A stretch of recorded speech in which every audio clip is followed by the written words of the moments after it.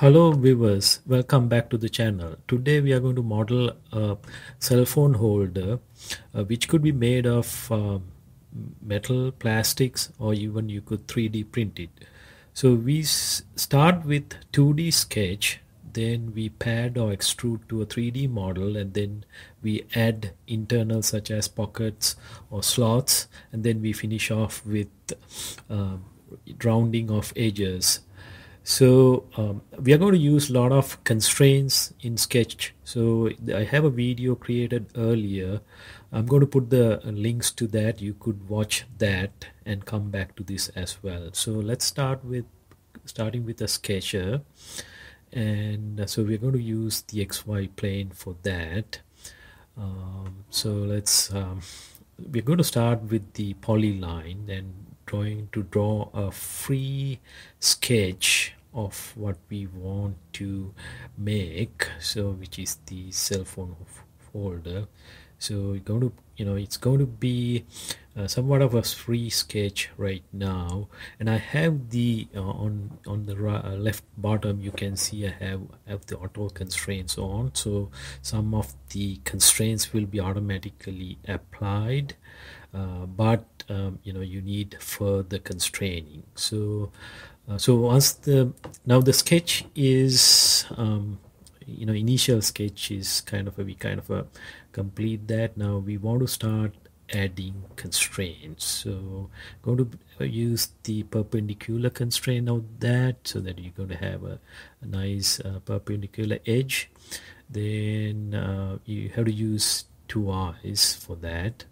And then we're going to use equivalent constraints to uh, or the parallel constraint i'm sorry the parallel constraints to uh, so that you're going to maintain uh, constant thickness. So um, now um, so still there are some more constraints to be added. So um, so the when you complete the all the constraints the sketch will you know turn green. But now it's still white so that is mean it is under constrained so uh, we are going to put some angles. Uh, so let's say uh, let's make it like 75 degrees here. And there are a couple of more um, uh, angles we have to put uh, constraints so that uh, we get the right angles. Okay so one more here maybe like let's say another 75 maybe? Yeah that's 75 um, so still the sketch is under constraint okay? So you can you know if you want to kind of a you know you can maybe want to replay it a little bit to see it exactly how it is done. But um, you know I'm going to continue to add constraints. So I have right now I have added uh, horizontal uh, dimensional constraint. Um, and then I'm going to add a vertical dimensional constraint to control the thickness. It's going to be 1.12 and uh, what you have to do here is so the entire you know the the horizontal vertical or not the vertical but the angular dimension all the thickness has to be 0.12 so now how you do that is you go to uh, angular constraining which is essentially a, a, a point and a line uh, or a vertex and a line constraint uh, and once you um, now you can get the thickness controlled uh, to 0.12 and you need to add two more uh, there also. So how you do that is you select the um, the angular constraint and you put you select a vertex and a line. So you pick a line and then you pick um, the vertex. So I'm going to do it twice so you can see clearly what I'm doing uh, so first yeah pick the vertex and then pick the line. So okay. So now you got that you change it to point one two um, and then you need to add another uh, uh, dimensional constraint as well so that way we got all the uh, elements to be uh, 0.12 inch thickness. So yeah so we're going to do the same thing there. So you got to pick a um, vertex and a line again and put the dimensions. Okay so now everything is 0.12 thickness. So that's good. So um, if you look at the the left lower box you can see that there is still five degrees of freedom. So you need few more constraints so I'm going to add uh, vertical constraint uh, put a dimension maybe like 3.1 inches yes and uh, and say okay so you got that.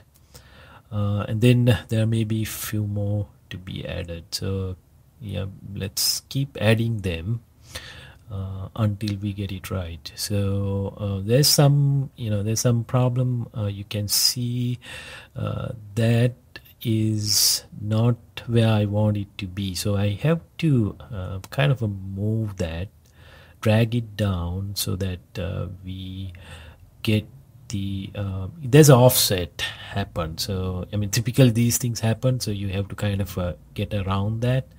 So you blow that that constraint and you drag it down and now you need to reapply it again. So that will fix that problem. So you you when you do uh, in FreeCAD when you do these uh, constraining you know you're going to run into some issues. So you keep keep that in mind. So you kind of has to fix that. So that's uh, one example of um, something that like that could happen. So um, so we we got we are almost a kind of a near to the end a few more uh, dimensional constraints we would be done. So one more there. So that length needs to be controlled. Um, so let's say 2.5 inch and there one more uh, as well. Uh, so you need to add the the cell phones I would call the resting area. So that needs to be added let's say 0.75 inches. Uh, okay so we got that as well.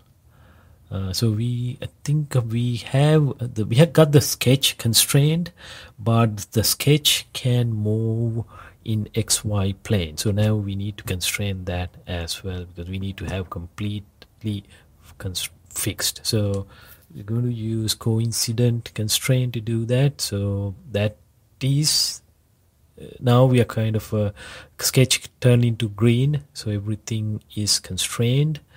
Um, so we can kind of uh, uh, close it out and get out of the constraint mode. Um, now what we need to do is add a body. Uh, we just create a sketch. We didn't have a body. So we're going to add a body uh, because that's we are going to introduce the 3D feature and then we are going to uh, make select the sketch select padding and then give the thickness. So that essentially uh, gives you a, a 3D model.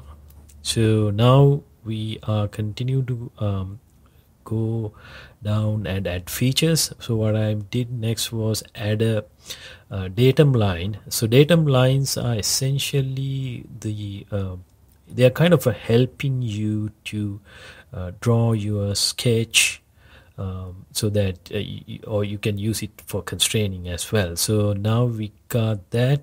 Now we are going to link that um, going to use link feature to um, add the external edges as well as the datum line to the sketch. So we are essentially attaching exchange, external uh, 3D features to our sketch. So that's how you do that because you will see when I'm, you know, uh, when I start um, putting the sketch together and then um, because I need a completely uh, a slot that is completely uh, the size of the uh, the uh, uh, the face. So that's why I uh, pick those edges and attach them to the sketch. So um, so this part is you know you're essentially creating another sketch. So uh, i'm not going to i'm going to go fast and create these constraints.